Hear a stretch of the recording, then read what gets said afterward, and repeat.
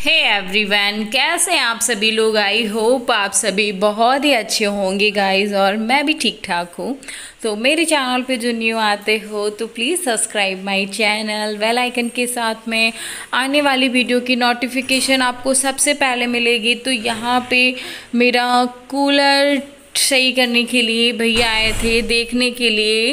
कि क्या ख़राब हुआ है आपका कूलर? तो वो अभी तो उसको कूलर को खोल रहे थे कि इसमें देखते हैं मोटर जला है कि और कोई प्रॉब्लम आ गई है। तो वो पूरा खोल के ही समझ में आएगा कि क्या दिक्कत हुई है आपके कूलर में।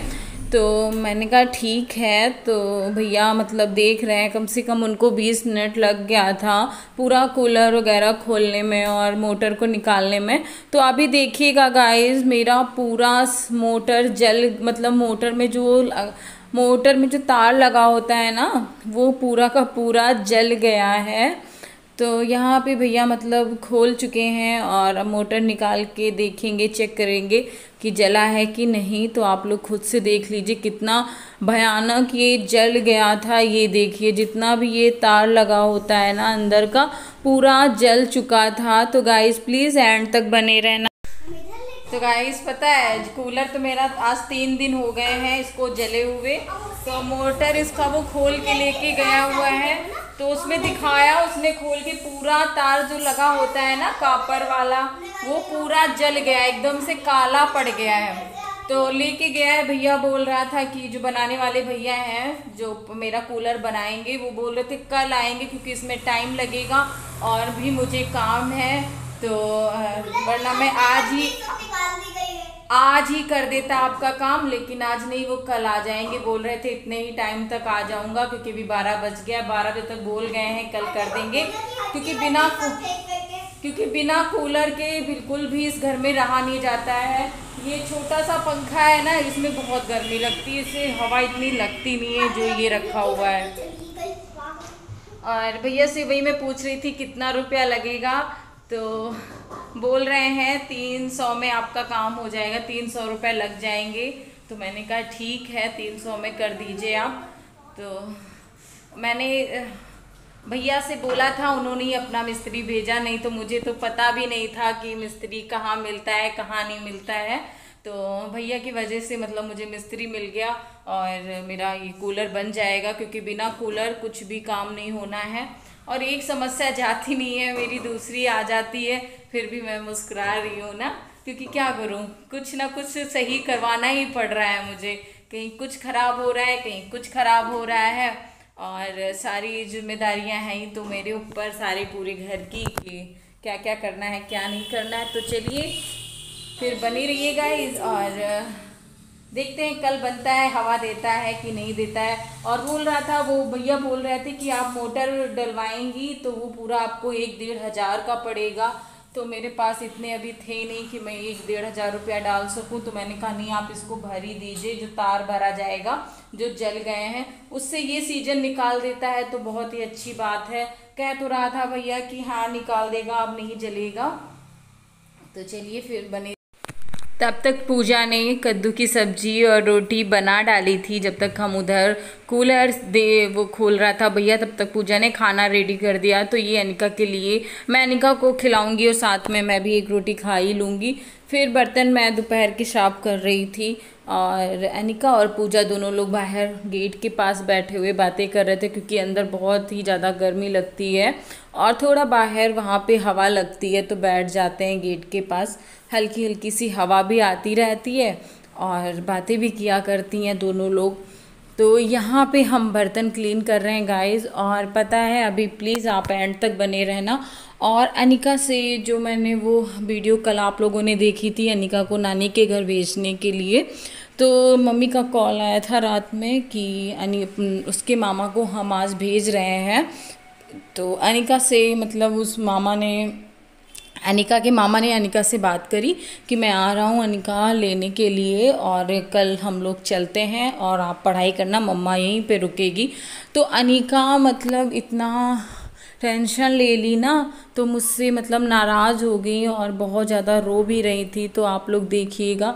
वो उसके कहना ये है कि मैं आपको छोड़ के यहाँ नहीं जाऊँगी और आपको भी चलना पड़ेगा मम्मा, नहीं तो मैं नहीं जाऊँगी। तो वो इस तरीके से जिद करके रो रही है, मुझसे इतना नाराज़ हो गई थी कि वो मुझे मार रही है। अभी आप लोग खुद से खुद देख लेना। बहुत रोया है, मेरा बच्चा कह रहा है, मम्मा, मैं आपके बिना वहाँ नहीं रह पाऊँगी, मत मुझे भेजो अकेले। तो अब मैं क्या करूँ? मैं तो दोनों तरफ़ से फंसी हुई हूँ। क्या बात क्या है? इधर देखो। डोरेमोन तुम्हारा दबा जा रहा है। नोबिता भी दबी जा रही रो रही हो तुम। इधर देखो, इधर। भैया।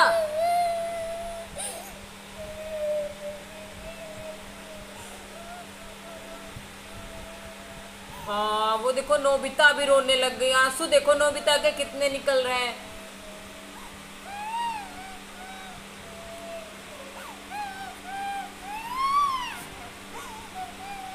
इधर देखो। मम्मा की तरफ़ देखो अच्छा। भैया, इधर। आप लोगों ने देखा, अनिका मुझसे बहुत ही ज़्यादा नाराज़ है और रो भी बहुत ज़्यादा रही थी। यहाँ पे बोल रही हैं, नहीं मम्मा, मैं नहीं जाऊँगी और मुझे मार रही हैं। कह रही, मैं आपसे बहुत ज़्यादा नाराज़ हूँ। आपने जो मुझे भेज दिया तो मैं कभी बात नहीं करूँगी प्यारा प्यारा हो लगने लगा है प्यारा ये देखो अनिका की नोबिता और डोरेमोन दिखाओ सबको। इधर दिखा दो, मेरे बच्चे, मेरे पुत्र, मेरे पुत्री, मेरा जाने मन, मेरी जाने जिगर, मेरी जाने बहुत जाना। तो मैंने बहुत ज़्यादा मनाने की कोशिश भी की, लेकिन अनिका मान नहीं रही है। उनका कहना यही है कि, मम्मा, आप चलोगे तभी मैं चलूँगी, वरना नहीं, वरना मैं आपसे कभी बात नहीं करूँगी। तो क्या करूँ मैं? कुछ समझ में नहीं आ रहा है। मेरा भी मन नहीं कर रहा था अपने बच्चे को भेजने का। मैंने भी मतलब बहुत ही मुश्किल में वो डिसीज़न लिया था, बट अनिका इतना रो रही है तो मैं उसे रोता हुआ भी तो नहीं भेज सकती हूँ। तो कुछ भी समझ में नहीं आ रहा फिर यहाँ पर जो ये मेरा मेन वाला गेट है ना तो ये बहुत ही टाइट बंद होता है इसको बंद खोलने में बहुत ज़्यादा दिक्कत आती है। तो मैंने सोचा इसमें थोड़ा सा तेल लगा देती हूँ ऑयलिंग कर देती हूँ इसकी। तो क्योंकि आ, सही हो जाएगा नहीं तो ये फिर बहुत मतलब टाइम लेता है बंद करने में। तो जब मैंने इसमें ऑयल लगा दिया तो बहुत ही अच्छे से बंद होने लग गया। शाम का हो गया है अभी साढ़े पाँच और सामने जो पेड़ इधर लगा हुआ मेरे घर के बाहर उसमें मतलब बहुत सारे लगे हुए हैं। हाँ। आपको चीटे ने काटा है बेटा। अनिका क्या लगे हुए हैं? पपीता। तो गाइस मेरे घर के बाहर गेट के सामने लगा हुआ है पपीते का पेड़। ये बाबू के सामने से ही मतलब छोटा था बहुत ही छोटा था बच्चा था जब वो थे। लेकिन अब वो बहुत बड़ा होके फल भी दे रहा है। और इसमें बहुत लोगों ने पपीता तोड़ तोड़ के खाया भी है क्योंकि बहुत सारे पपीता इसमें लगे हुए थे।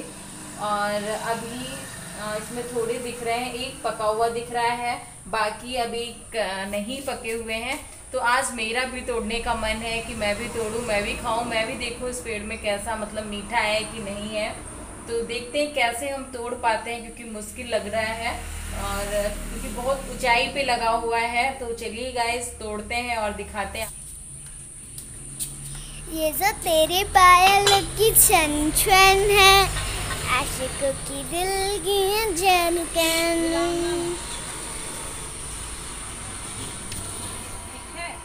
वो मम्मी छोटा सा पपीता तोड़ेंगे भी देखना।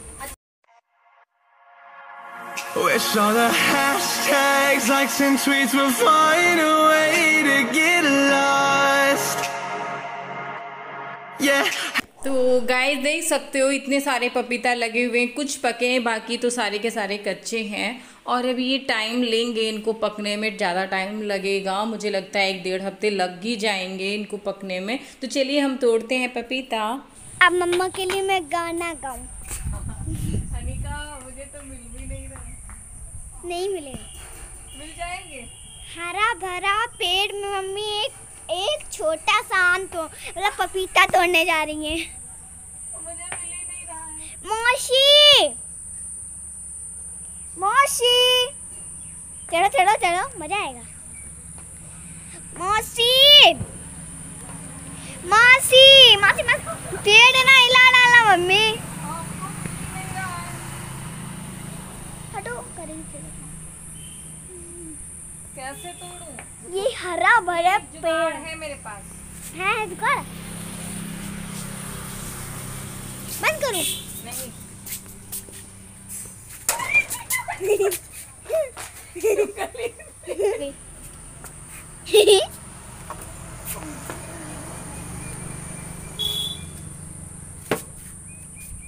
देखिए हरा भरा हरा भरा।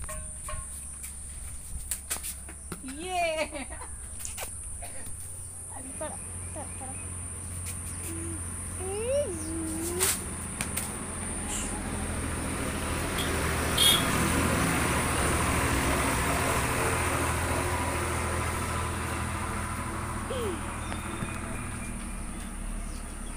एक ये गिरा है आम एक वो गिरा है पपीता ये गिरा है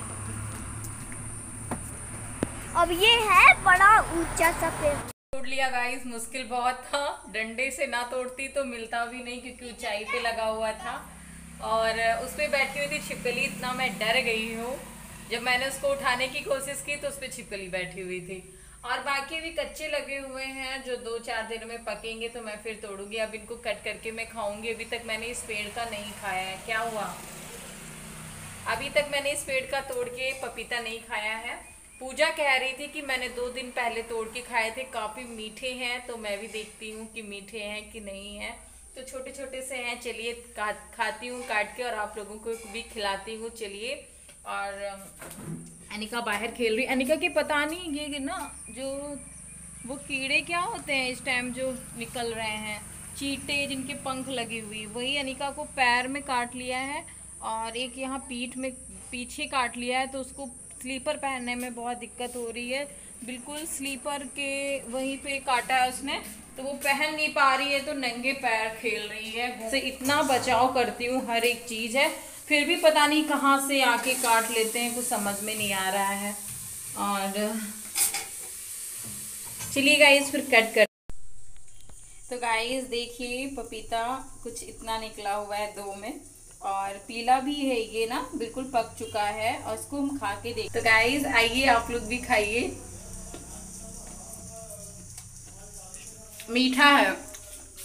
थोड़ा सा मैं पूजा को दे देती हूँ। अनिका कह रही मैं खाऊँगी नहीं। मम्मा, आप खा लो। तो मैं और पूजा खाएँगे। पूजा लो आके।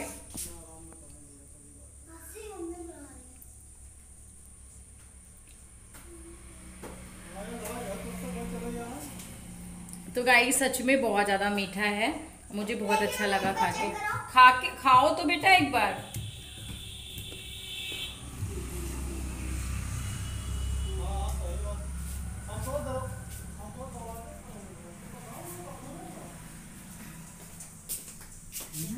तो चलिए गाइस आइए, खाइए आके मेरे साथ पपीता। उल्टे हाथ से मैं खा रही हूँ। क्योंकि चलिए मैं खा लेती हूँ।